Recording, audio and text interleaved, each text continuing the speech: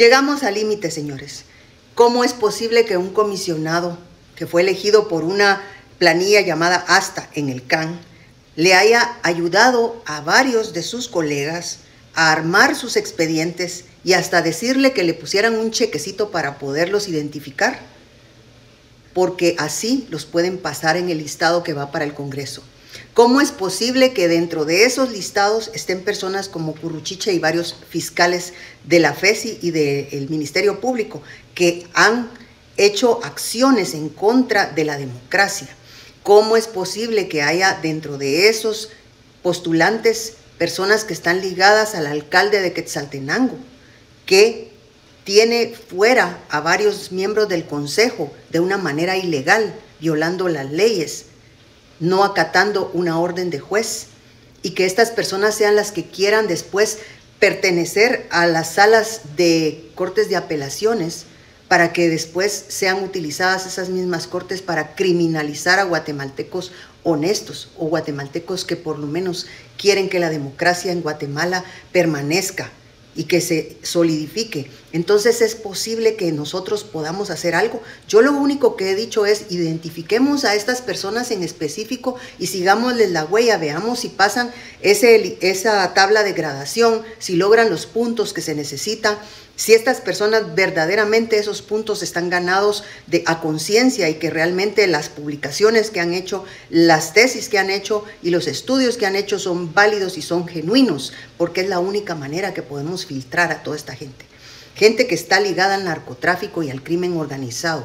Ellos son los que van a ser los magistrados. Imagínense, van a seguir dejando libres a todos esos corruptos, van a seguir eh, haciendo marufias para poder bajarse al gobierno, van a continuar atacando sea al eh, partido oficial o a otros partidos también.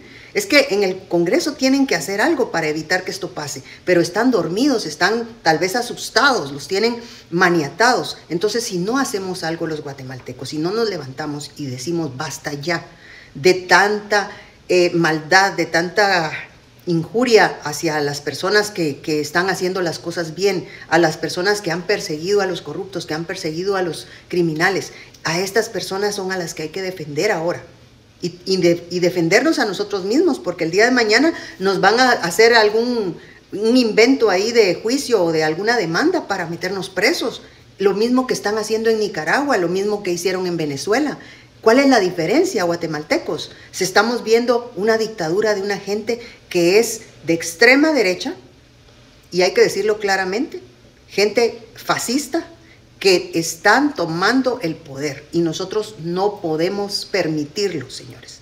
No se trata ni de ser de izquierda ni de ser de derecha, se trata de fascismo, se trata de personas que están tratando de librarse de la justicia porque han cometido delitos. Y eso es lo que no debemos de permitir, que estas personas se salgan con la suya. Si no hacemos algo, si eh, la comunidad internacional no nos ayuda, vamos a tener que salir nosotros, porque no nos queda otra. El pueblo es el que tiene que salir, porque el pueblo tiene que tener eh, la soberanía en sus manos para poder eh, hacer que las leyes se cumplan. No es posible que tres o cuatro personas que están en una corte sean las que decidan por el pueblo de Guatemala. Yo de verdad los insto a estar muy pendientes de esto. Definitivamente suena repetitivo, pero es que no hay de otra. lo estamos viendo en vivo. Estamos viendo la cooptación de esta corte que viene. Y si esto sucede, todos vamos a salir perjudicados y todos la vamos a pagar. Piénselo y actúe. Bien, hasta acá el video de hoy. Recuerden que ustedes tienen la última opinión que pueden dejar acá abajo en la cajita de comentarios. Dicho esto, nos vemos hasta el siguiente video. Adiós.